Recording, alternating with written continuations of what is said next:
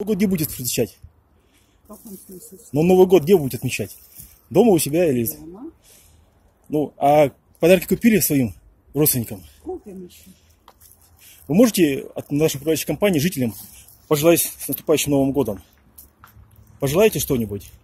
Счастья, благополучия, чтобы женщины чувствовали со стороны мужчин и своих детей уважение и со стороны родственников, а,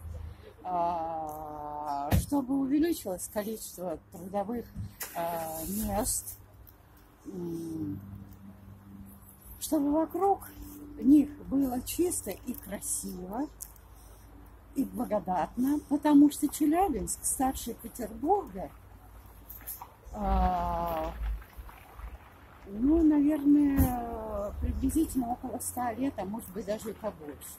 Раз Петербург уже превратился в город-музей, а Челябинск, э, как сказать, хотя имеет центр и имеет э, районные завязки, но все это вместе а, не связано и не облагорожено до такой степени, безусловно.